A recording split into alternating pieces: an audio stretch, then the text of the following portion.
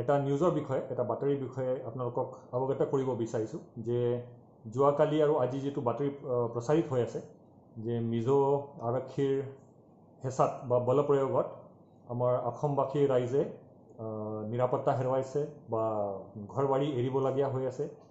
চ' মই ইয়াতে ক্লিয়াৰ কৰিব বিচাৰিছোঁ যে that matter has been verified আৰু যিহেতু আমাৰ অসম আৰক্ষী তথা অসম আৰক্ষীৰ আমাৰ শীৰ্ষ বিষয়াই ডেইলি তাতে কেম্পিং কৰি আছে বুজ লৈ আছে ডিউটি কৰি আছে কৰ্তব্য কৰি আছে অব্যাহত আহ, কৰি কৰি আছে মই আহ, সিহঁতক ফালৰ পৰাও ক'ব বিচাৰিছোঁ যে এনেকৈ কোনো ঘটনা আহ, আমাৰ কাছাৰ জিলাততো হোৱা নাই যিখিনি মানুহ তাৰ পৰা ওলাইছে সেইখিনি এতিয়া আপোনালোকে জানে যে কাছাৰ জিলাৰ খুলিচেৰা আহ, যিটো এৰিয়া कचार जिला अ, पुलिस अधीक्षक के नाते मैं सबको अवगत करना चाहता हूँ कि अभी फ़िलहाल कचार ज़िले के धुलाई थाना के अंतर्गत खुली चेरा जहाँ पे जगह है, वहाँ पे असम पुलिस का ड्यूटी तैनात है।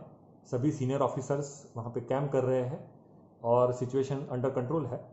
हालाँकि जो स्थिति है, अभी मिज़ो पुलिस और असम पुलिस आमने सामने है।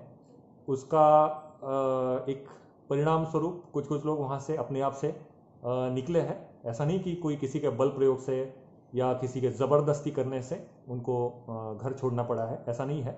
बट सिचुएशन नाजुक है। फिर भी हमारे असम पुलिस के सभी जवान, सभी सीनियर ऑफिसर्स हम लोग डटे हुए हैं। We are there to protect the life and property of our citizens तो जो सिचुएशन है, अभी फ़िलहाल अंडर कंट्रोल है और कचार पुलिस असम पुलिस और सभी हम लोग के आरक्षी दल इसको बॉर्डर को प्रोटेक्ट करने के लिए पूरी तरह से सक्षम है।